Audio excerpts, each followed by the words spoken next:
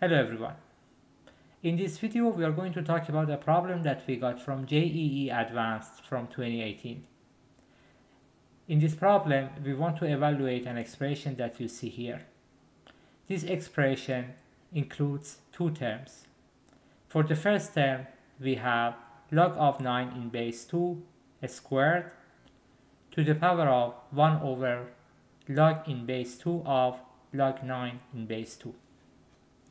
For the second term, we have square root of 7 to the power of 1 over log of 7 in base 4. Before moving forward to talk about the solution, make sure that you pause the video to think about the problem.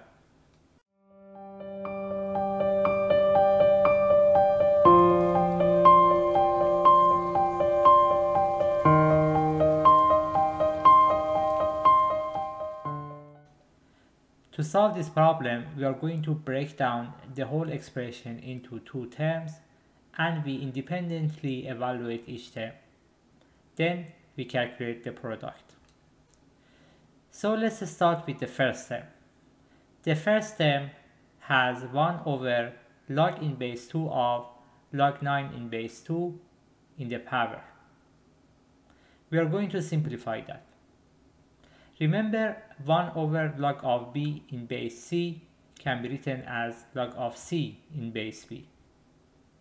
If we use this, then we can say the power can be simplified as log of 2 in base log 9 in base 2.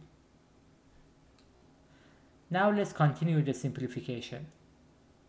Note that when we have a to the power of b and then the whole expression to the power of c, we can simplify it as a to the power of bc. We are going to use this trick to simplify the expression even further. If we use it, then we can see that we have log of 9 in base 2 to the power of an expression that you see here in green. Now we are going to simplify the expression in green even further. So we have a times log of c in base b. We can write it as log of c to the power of a in base b. So we can use this to simplify the green part and then we have log of 4 in base log 9 in base 2 for the power. We can move forward and now note that we have log of 9 in base 2 in two sections here.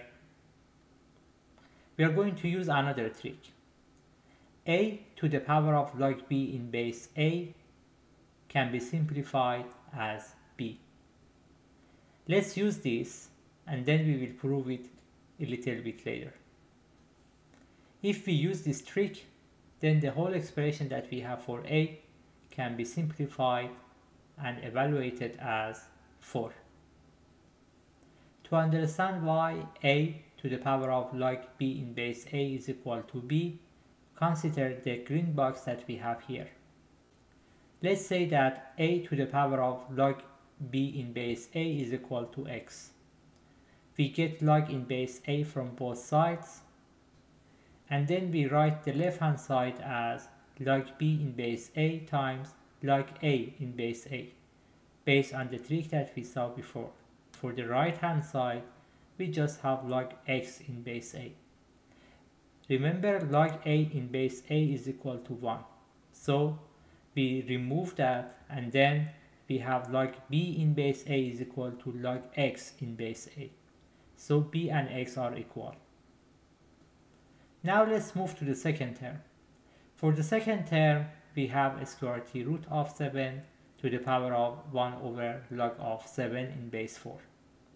First, we are going to use square root of a is equal to a to the power of 1 over 2.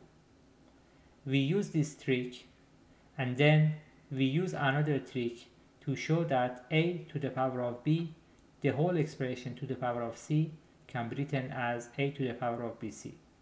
So we are going to move 1 over 2 and multiply it by 1 over log of 7 in base 4. Now we can use 1 over log of b in base c is equal to log of c in base b.